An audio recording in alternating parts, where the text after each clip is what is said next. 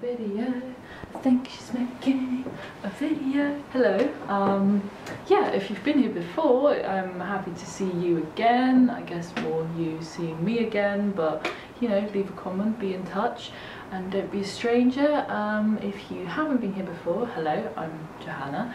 I am a gardener and a forager, foraging gardener, and I am um, all sorts of other things. I don't know, a person that likes doing things.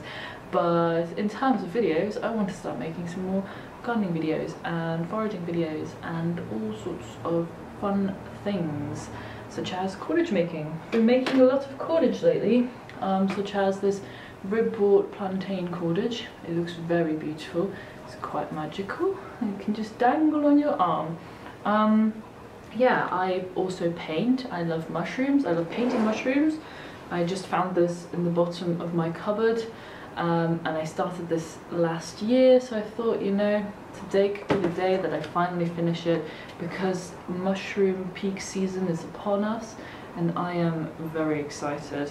Um, I've not really been well enough to make videos for a while because um, I had the COVID and yeah there's just a lot of after COVID tiredness and unwellness going on. So do be careful out there you know and I hope you're you're safe and you get your vaccinations.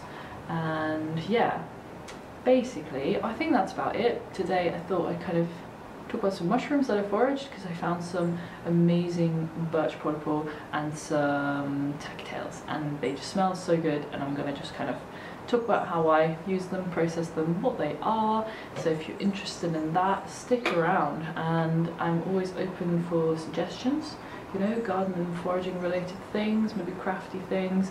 And I, yeah, I just hope to be around a bit more here. Um, because yeah, I recently graduated horticulture. I'm now done with university, which is a funny feeling.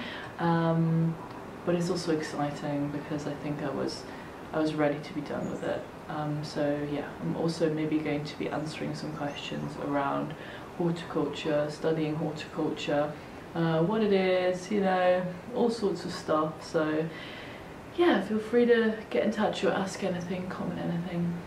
Um, not that I know everything at all, I just, I'm just one person who did a horticulture degree. There is many, many more out there and there's many different degrees all over the world, so it's not like you know, don't take everything I say as truth or whatever. Just like don't do that in general, you know? Um, but yeah, enjoy. so, if you are into mushrooms, I highly recommend this particular book. It's Mushrooms by Roger Phillips and it's so good. It has all sorts of amazing reference images in it and today, oh, interesting, I'm going to be finishing a certain bolete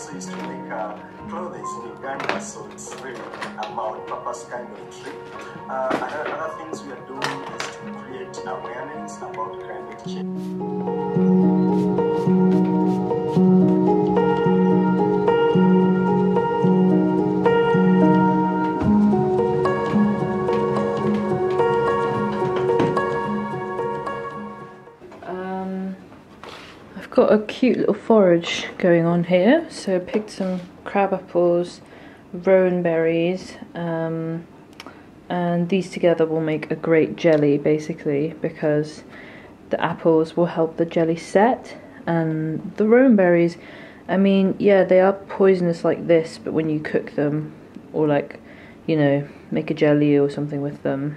Um, they are actually indeed edible, but they do need quite a lot of sugar because they do have like a very strong taste. Um, yeah, these are like all the little crab apples. Look at these guys, they're all so different and they've all got so much character. I love them. Um, and this uh, is a polypore, a birch polypore. It's an incredible medicinal mushroom. Um, the sort of like bottom layer you can use as a plaster if you like cut a little square out it like sticks to your finger if it's fresh. So if you like experience a cut or something when you're out and about and you find one of these guys definitely put it on there because it's like highly antibacterial um, quite good for open wounds. Um, here. So you see how the sort of bottom layer of the pores comes off quite easily. This thing here is your plaster. Imagine you have a cut, you just put that right on. It's quite sticky, I mean it did just break, but um, you could leave it on your finger and it will help disinfect kind of your wound basically. Um, so I definitely recommend that if you have some sort of cut going on. Basically, you kind of just make, you know, decoctions out of them. If you don't know what a decoction is, it's like um, sort of a tea, but you'd like just boil it for a really long time. Well, not boil it, but like simmer it. Um, and that's how you can get like the medicinal properties out of these guys and any mushrooms really. So these ones here, if you've not seen these before, ah, these are turkey tails because they do kind of resemble the tail of a turkey. Um, they look a bit like little fans. Um, however, there's a problem with these guys. Occasionally there's like a little bug in them that's just eats its way through. So this guy has some white stuff on it, which is the mushroom being eaten um, by this little beetle or whatever, or larva. So you do need to like look properly and see that you don't have a little bug living in it because then, unfortunately, your mushrooms shall be eaten. And that happened to me last year because all of them were just like bug infested.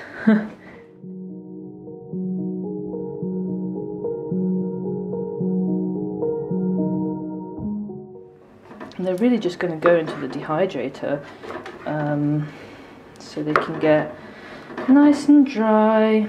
If you don't have a dehydrator, you can do it in the oven. Try not to roast them though, and you can also leave them out. So, here we've got our little mushroom.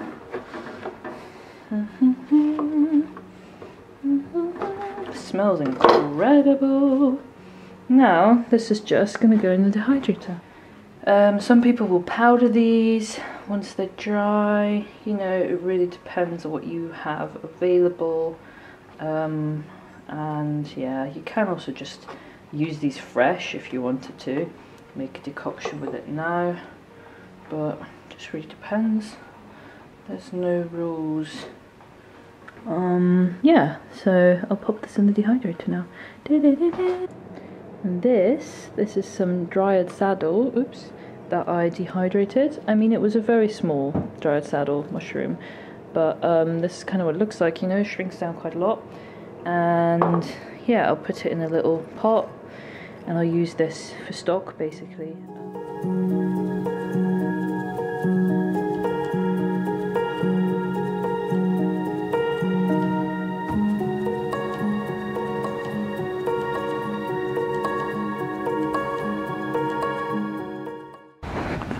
Little earth. Look, this was the spores. Mm.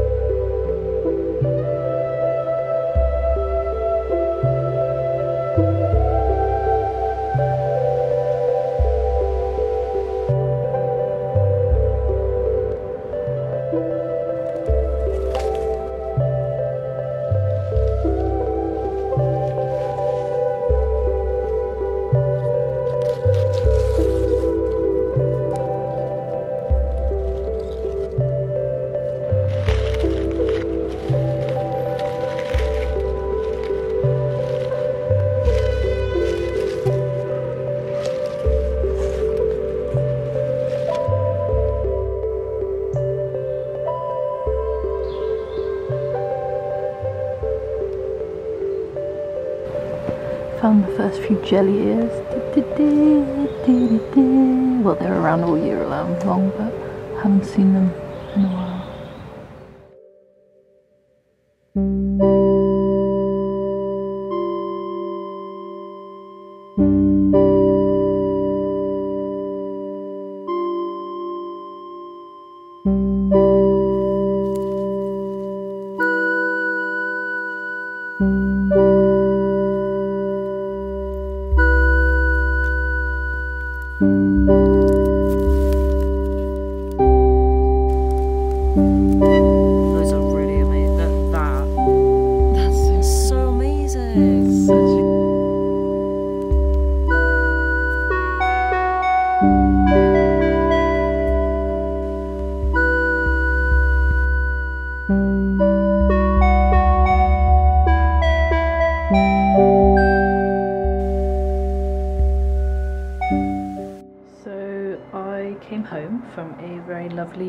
Forage. Um, this little guy is a brown birch bolete, but I collected that yesterday actually. And these are some chanterelles, which we're going to some risotto this evening. But today I picked some beautiful rowan berries. These are very common, even if you live in like urban areas, you know. Um, and then some of these in here are hawthorn berries because I collected them in the same um, in the same bag but mainly these are from the yew tree. These ones here they're from yew tree and yew tree berries are very poisonous um, but only the seed part of it um, so you can eat them as long as you remove the seed basically and I picked a bunch which I'm probably going to use for like porridge or something. And these little hawthorns over here and these are rose hips. Um, they'll probably go into a jelly um, with the rowan and the crab apples. Um, yeah it's been a very lovely foraging year for me actually. So for um, wild food identification I have I think I've recommended this before but I've, if you live in the UK I really recommend this book by Wild Food UK because especially with mushrooms it tells you exactly what the possible confusions would be um, and how you know safe it would be to eat um, especially for a beginner forager. And this mushroom here for example is a brown birch bolete and the way I know that is because well firstly it grew with birches which is always a really important thing to look at when you are foraging for mushrooms. Uh, what trees kind of grow around it, um, and then what connection they grow to certain plants or trees around the area. And it, it says it doesn't taste like much flavour wise, that's why I'm just curious to taste it. I haven't ever tasted this one, I've only ever had ceps actually. Um, but I'm just going to try it basically. Um, and the only other thing it could look like or like it's similar like it's other other boletes basically for example the orange one but that one is very clearly a lot more orange. Um, I'm gonna just try and eat this little guy and see how he tastes actually